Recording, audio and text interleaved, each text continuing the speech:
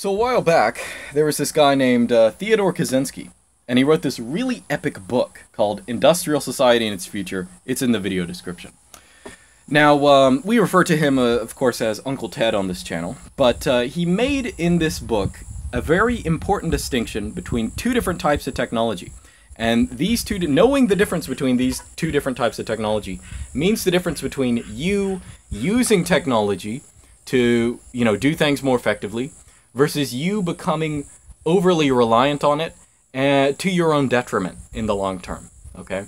And that's something, you know, all of us, not all technology is good. Tech, tech, technology is not like uh, just a scale of goodness that just gets higher and higher, and the higher tech thing something is, um, that means it's better. That's not how it is. Now, uh, the two dif different types of technology, according to Uncle Ted, one of them he calls small scale technology. Okay, so small scale technology, this chair, for example, small scale technology. Okay, chairs don't grow on trees, but you can go into the forest and you can very easily source the materials to make a, a nice little chair like this, okay?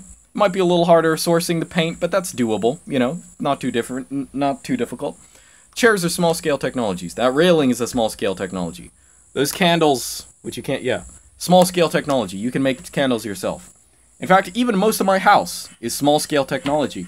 Um, nearly every, there are, of course, some parts that aren't, but most of it, you know, most of the basic structure of a house you can make yourself. Takes a lot of effort, but you can do yourself. And importantly, all of this technology you can repair and replace. It's one very important thing. Now, small scale technology, he contrasts, Uncle Ted, he contrasts with organization dependent technology. Now, what is that?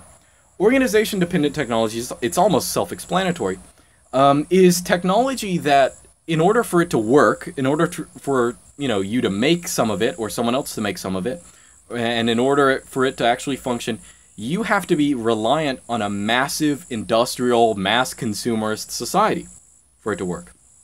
Okay? The example that he gives is refrigeration. Now, refrigeration is super convenient. It's fantastic technology. I mean, you can throw stuff in your refrigerator or your freezer, and it will somehow turn electrical energy into coldness. That's fantastic. Okay, so you can keep all your foods nice, nice and late. Um, so refrigeration is organization dependent technology because you can't go into the forest and make a refrigerator. What you have to do is you have to go to some massive corporation that has mining operations, getting copper. They have all this heavy machinery that can, you know, basically mold the refrigerator in the way needed. It has plastics and all this kind of stuff that you need a massive, uh, you know, factory to make, basically. You have to go to one of them, buy one, and when you bring it home, it doesn't just work. You have to plug it up to electricity. So you have to rely on the power system that society has, the massive power system that society has organized. And even if you think you're going to get away from that, oh, I'm going to have solar panels. Well, solar panels are the same thing. Solar panels, these massive uh, solar cells made in China, shipped over the, the sea. I mean, it's not, again, it's not the kind of thing you can go into the forest and make. And if it breaks, you are just as reliant on you know the system as you would be if you were reliant on public power or something like that. Okay, so that's organization dependent technology. Now, of course, organization dependent technology is super useful. Refrigeration is great. It's fantastic to be able to chill your food, foods, freeze your stuff. Um, and there are small scale equivalents of refrigeration, of course. You know, in the olden days before electricity, you would uh, you'd cure your meat, you'd smoke it or something like that to preserve it, or you'd uh, salt it, or you'd uh, you know can vegetables and stuff like that for long-term preservation. And of course, you can still do that now as an individual person. Um, but it's something that a lot of people aren't familiar with because we've become so uh, reliant on organization-dependent technology.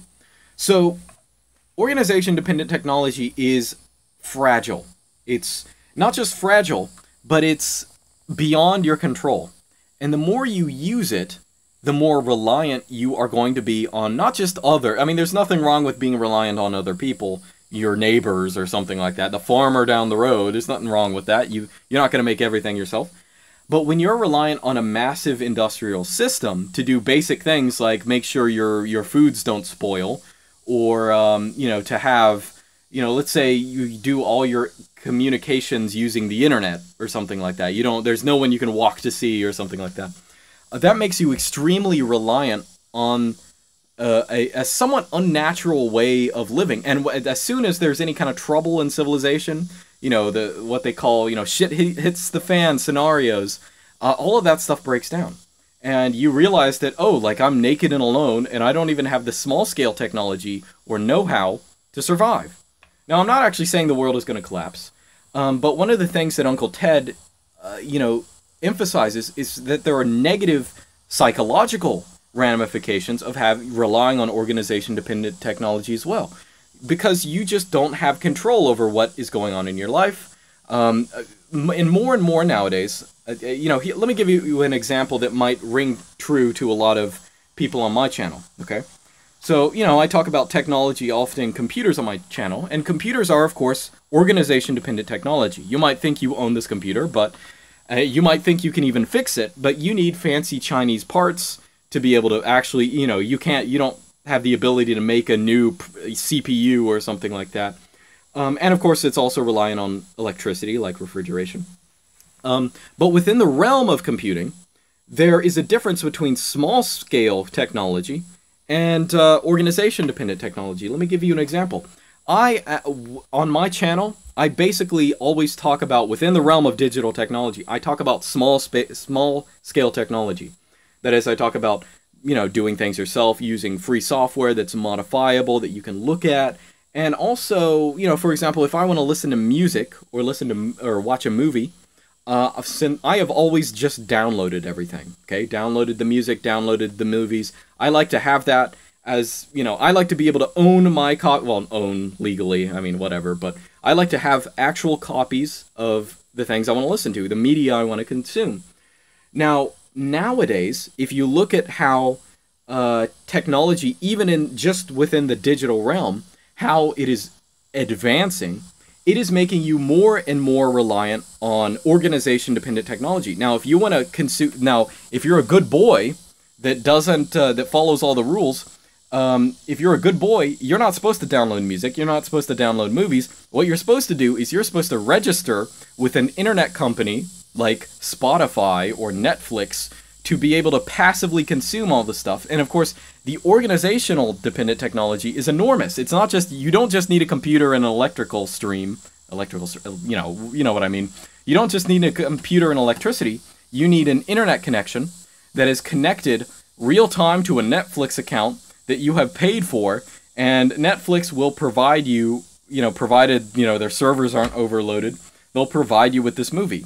So organization dependent technology, even within the realm of, you know, computing, you know, it's always I consider it always a bad thing to be more reliant on massive, you know, structure, you know, massive technological structures to provide you with increasingly basic things. Nowadays, you can go to the store, you can go to the store and you can buy a laptop that has no physical storage or just enough for an operating system where your intended not to actually save your documents to the computer, but use them in the cloud. Now, in order to write a letter to your friend, you have to, you know, you have to log into the internet, log into Google services, and write it on their computer. Oh, we'll keep it for you. Don't worry about it. Um, but th- that's sort of the same thing. So whenever I'm making a decision, so here, here's where it comes down to. A lot of people think that, oh, oh, Luke, you, you, uh, you drop Uncle Ted memes, but you still use the computer. That makes you a hypocrite or something like that. Okay, that's not that's not even Uncle Ted. Let's just say he manufactured some technology himself. Um, but there's there's nothing like moralistic against the use of even high technology. Okay, the issue is understanding the the social and personal consequences of using your technology and where they go. And I'll put it this way: if you want to take something away from this video, take this away.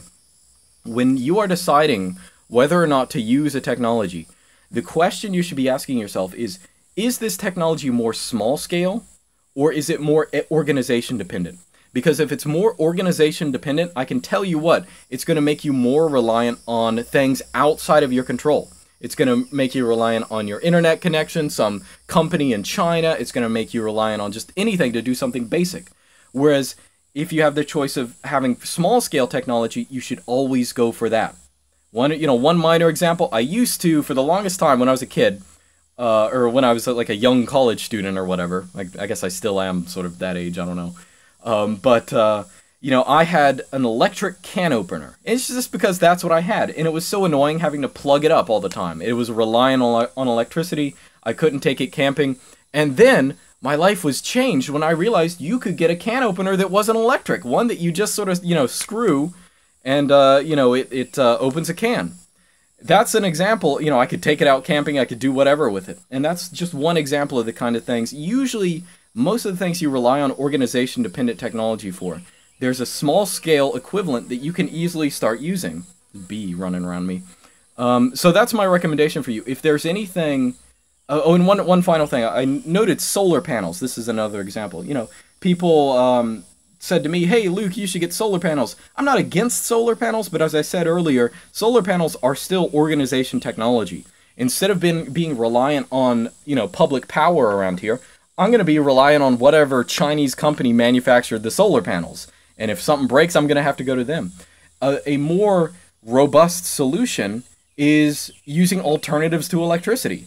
So, you know, as I said, using, you know, canning your stuff to store it instead of just keeping it in the refrigerator or something like that.